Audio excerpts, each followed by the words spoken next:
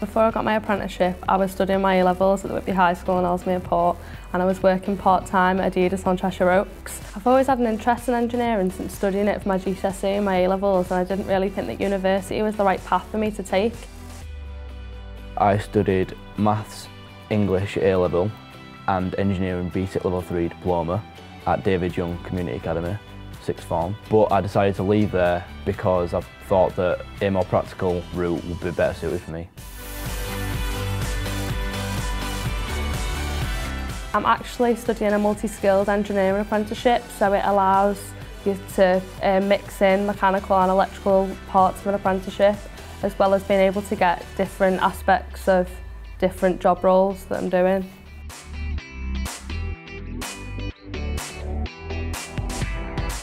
I've never done anything like this before and I like to do new things and that's why I applied for the apprenticeship in the first place. You can't really learn what problems are going to happen because new problems happen all the time. You just got to learn what frequent problems happen and how to control them. I was really, really excited to finally get started after being given the opportunity. I was also quite nervous to sort of see what I would be doing in college and meet everyone else that was doing it.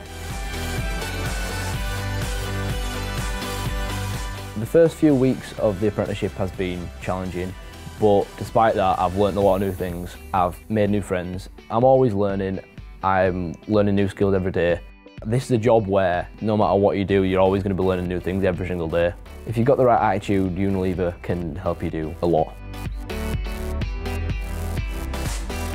If I can give one tip to people who want to apply for an apprenticeship is have an open mind, work hard and you'll get where you want to be.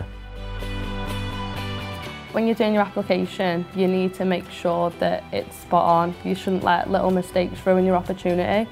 I think that if you get to assessment days and interviews, you really need to sort of show your personality and be yourself. I think that's one thing that Unilever does really stand for. I think that also you need to show your strengths and show why you deserve the apprenticeship as much as anyone else.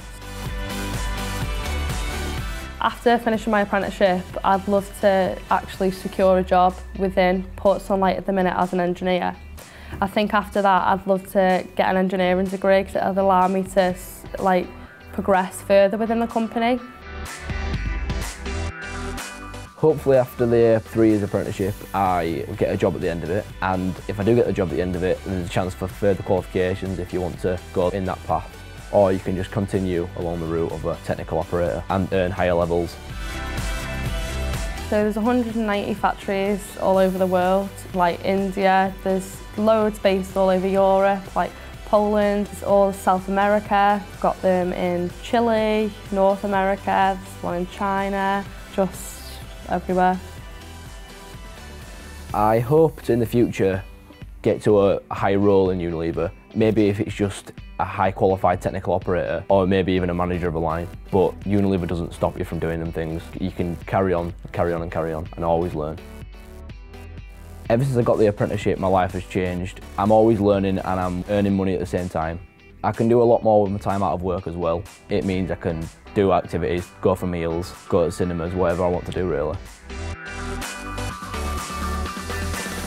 I'd love to go and see loads of different factories and maybe go and work in different countries for a bit and then just see where it takes me. I think that I've got so many opportunities being with Unilever and some that I'm probably not even aware of yet.